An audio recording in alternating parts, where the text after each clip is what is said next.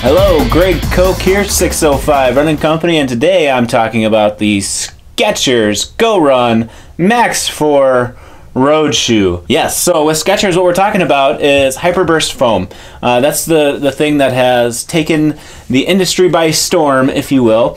And you know how I feel about super technical uh, foam materials. Every brand has some sort of proprietary foam that is making their shoe better than the next. Um, but Hyperburst is pretty cool, I gotta be honest.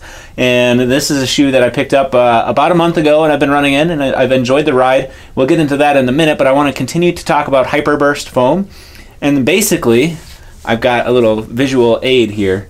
So this, this, uh, this hard, hard piece, through the process of uh, crazy engineering, becomes this, this midsole material, and that's that's hyperburst foam. And um, it's it's it's really cool science. It's it's you know it's chemical engineering at its finest.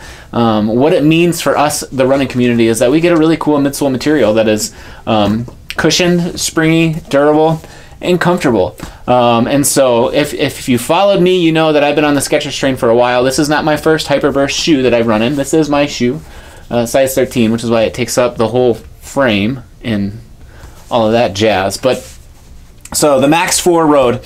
It's a great shoe. Uh, if, if you have looked up the shoe or heard anything about it, you know, it's got that knit upper, um, all one piece. It's perfect this time of year in Sioux Falls, South Dakota, because um, it does run a little warm. Um, I call this a sweater for your feet. Um, which is all right given the season that we're heading into. Uh, this is a great everyday trainer. You can put lots of miles on it, long, long miles you can do in this shoe. Um, the fit it swims around a little bit because of the way that this one piece upper works. So if you don't like that, this might not be the shoe for you. However, um, for me, this is right in my wheelhouse. I like a looser fitting shoe.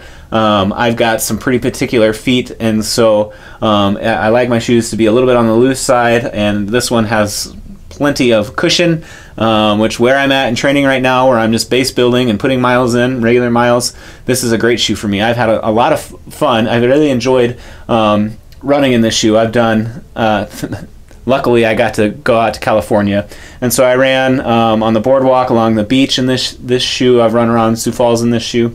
It's been it's been good. It's been fun. Um, it is. I would compare it to like a, a Hoka Clifton or Bondi um, in terms of the cushion and how much cushion you're going to get out of this shoe. The upper fits, um, you know, uh, previous Skechers shoes with that one piece upper. I'm trying to think of other shoes that have had it. The uh, the Brooks Levitate had an upper that fit really similar to this. So if you enjoyed running in the Brooks Levitate, you know this shoe is certainly lighter weight than that, um, and I enjoy this cushion um, profile a lot more than what I did in that shoe. And I put a lot of miles in that shoe. So uh, a fun shoe, really unique uh, construction going into that Hyperburst material. And I got to tell you, Skechers has got a lot of cool stuff coming out, Skechers Performance. So uh, they are certainly a brand to watch. This Hyperburst midsole, it's the real deal. This stuff is really, really comfortable.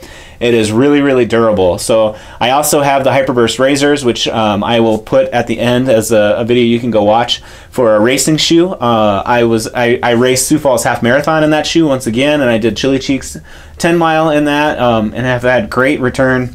Uh, great experiences in that shoe. This would be a great trainer to complement that shoe as a race shoe. So it's a Skechers uh, Go Run Max 4 Road shoe. That's it's a mouthful of a name, but it is a fun shoe to run in, and I highly encourage you, you to come on down and, and try this one on. Especially if you've had some of those other shoes that I mentioned in the past and you've enjoyed those experiences. This is something that I think definitely complements um, those those neutral higher cushion trainers. So this has been fun. This is Greg. I will see y'all soon down here at the shop. Bye.